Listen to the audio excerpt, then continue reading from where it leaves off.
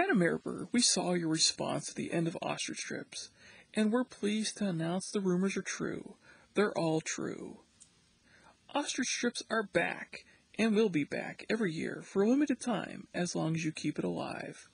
You have totally saved it, and it was not just a marketing scheme we thought up, but you. It was all somehow you. And to thank you, we're also going to keep selling all the retired food items from our competitors, because we love you more than them. I mean, how could they take the McRib away?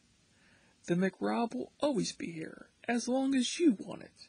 And if they copy us and bring the McRib back, let's not reward that type of tomfoolery with our emotions and our money. We've listened to our customers. How dare they play on our FOMO and nostalgia? Spend your money here instead, where like our elected representatives are supposed to do, we listened and acted upon our customer's voice.